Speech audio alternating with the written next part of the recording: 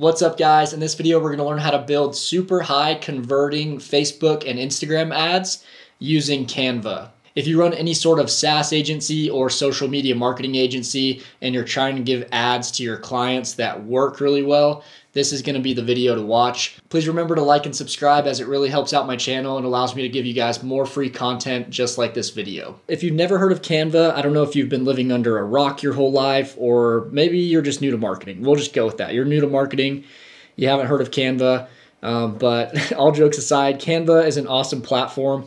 It allows us to build out really cool ads, um, little designs like this that can move around with text and visuals. Really great place to put our ads together. Really great place to put our ads together. Then we can export them and bring them into our Facebook Ads Manager so that we can actually run them. But this is where we're going to build them out. Canva is free and you can do most of everything inside of Canva for free but their paid plan it's like 12 bucks a month so it's not going to break the bank.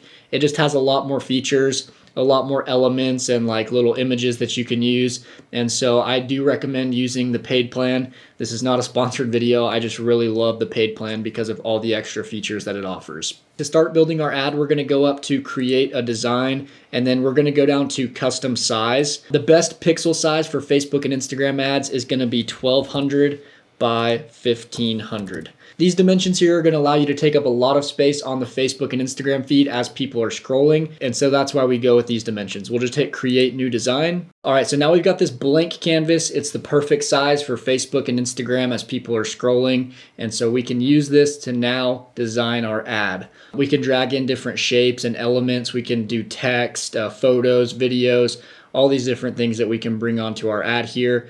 In this design tab here, there's already a bunch of pre-built templates that Canva gives you. You can even search a specific niche. Let's say our niche is like real estate.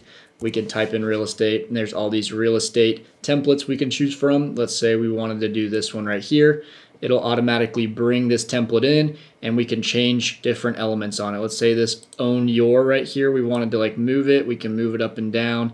Let's say we wanted to change it, we can go in and edit it to say something different, yada, yada, yada. If you're gonna use these templates over here that Canva provides, then make sure it's one that is clear and not too jumbled. There's some of these that are like really hard to read and the harder your ad is to read and the more it has going on, the less likely you are to convert because you'll lose interest. You need something that's super easy, clear to understand, maybe just a single headline, kind of like this one right here, with just a little bit of text to read. Mainly, what's going to grab people's attention is your image or video if you decide to go with video. So let's say I wanted to create a video ad inside of Canva. I'm just gonna delete this one out of here and start from scratch again. And then I'm gonna go over to my uploads. And now that I'm in my uploads, I can select videos and I can select from the different videos that I've uploaded in here from my computer. Let's just say I wanna go with this one of this house. I could then go in and like drag this house out so that it fills out this canvas a little bit better.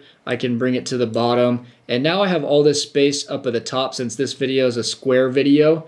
I have space at the top now that I can bring in a headline. I could change the color of the background here. Let's say I wanted it to be black instead. Now I've got a black background and now I can bring in some text. Let's say I wanted to add in a headline. We've got our headline now. I can drag this up to the top. It's white so it contrasts well and is easy to read against this black background. So now we've got our headline box in here. We can type in a headline that will catch people's attention as they're scrolling. For this one, since it's showing a house in this video, we could say something like, um, buy this home for 0% down. And you can see the 0% down is going into the video a little bit. And so what we could do here is we can actually change the line spacing and we can bring this up a little bit so that it all fits on the black space here. And now we have a headline that catches people's attention. Buy this home for 0% down. That's pretty interesting and intriguing that you can buy a home without any money down. Maybe this isn't your exact niche, or maybe this home doesn't qualify for a 0% down loan, but this is just an example of something that would catch people's attention. That's really the name of the game on getting a lot of leads at a cheap cost.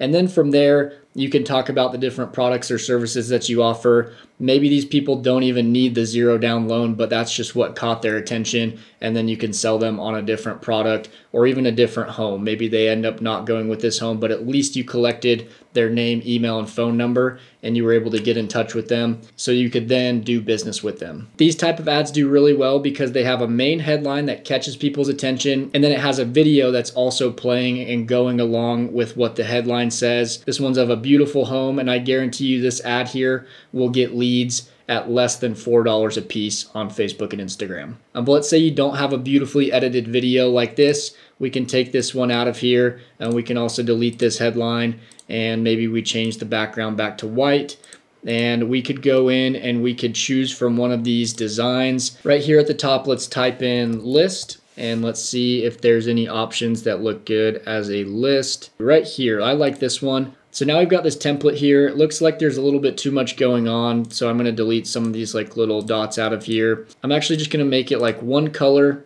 I'm gonna delete these little elements out of here where it has different colors and these stripes and stuff. So now I've just got a pretty basic template here to go off of. I don't like this notes thing right here, so I'm gonna delete this and delete that. And then I'm gonna drag my headline a little higher. I'm gonna enlarge it so that people can see it a lot easier and then I'm going to drag it to the middle. Let's say this is an ad for a mortgage company. We could say um, first time home buyer loans, something like that. And now we can take this white area and we can drag in some subheadings. So I'm going to drag in one here. Then I can actually select this one and I can duplicate it. And so I have another one that can go right below it and duplicate it again, another one and another one. So now we've got four subheadings that we can type in some info.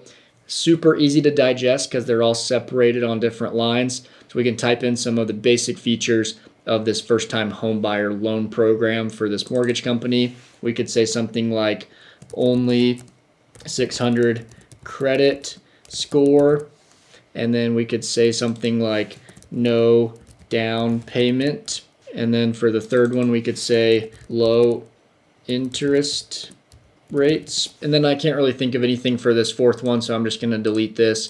And then I'll drag these down, um, space them out a little bit. And then this one right here is too long, so I'm going to take out this end part where it says credit score. And so now it's a little bit easier to digest. And then also I'm going to jump over to the Elements tab, and I'm going to search for a check mark. And so there's all these different options for check marks. I'm just going to use this one right here, and I'm going to make it a lot smaller and then I'm to put a check mark in front of each one of these kind of like a bullet point and then we would just move around this text accordingly so it looks nice and then if we want if we don't like the green we can change the color of this check to be red so that it matches with the rest of this template. But now that I think about it, red might not be the best color for this type of ad. Red can come off as a threatening color, so I'm gonna go up and I'm gonna change the color and I'm gonna change it maybe to a light blue color, something like this and then I can change the red to the same blue color and it looks a little bit less threatening. And then maybe this white text doesn't pop as much on this blue background anymore and we want people to be able to read it better. And so we can click on this text and click on effects and we can put a little bit of a shadow behind the text so that it pops out a little bit more or a lift. And so now the text kind of pops out more on this ad and so, and so now we can put our company's logo at the bottom here. Um, but this is a pretty good looking ad. And now we just want to animate it because it's still right now, it's a still image, but we want it to move and fade in and out. So there's these options here where it can fade in from the left to the right. Then we can do some different types of fades here. We just want something that moves so when people are scrolling, it catches their eye. If it's just a still image, it doesn't catch their eye.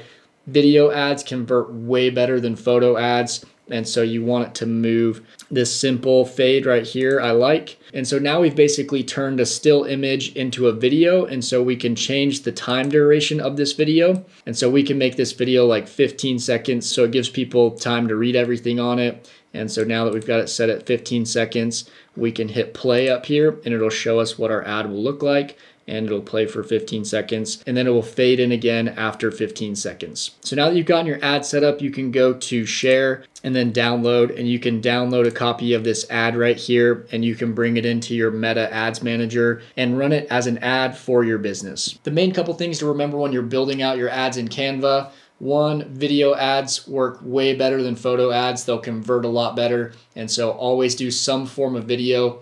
If it's a video that you filmed, great. If it's one of those Canva ads and it just fades in and out, that's fine as well. But video ads are always gonna do better. Number two, make sure your ad is easily digestible. You don't want a bunch of jumbled text and images and it's all over the place. You wanna have it where it's easy to read, maybe put bullet points like we did in this example, and just make sure people understand what the ad is about. When you put your headline text at the top of the ad, you wanna make sure to call out who that specific ad is for. Um, so that if your headline says home buyers, then anybody who's looking to buy a home will stop on that ad and read it. Those are some really simple things to remember, but things that go a long way and will help you make a lot more money and be more profitable running Facebook and Instagram ads. If you guys are trying to build out these ads for your social media marketing agency or your SaaS agency, there's a link down below this video where you can get a free trial of Go High Level. Go High Level is an all in one marketing platform that helps with your social media marketing agency or your SaaS agency and can help you a ton in building all of that out. Please remember to like and subscribe as it really helps out my channel, allows me to give you guys more free content. Other than that, guys, I hope you have a great day and I'll see y'all in the next video. Peace.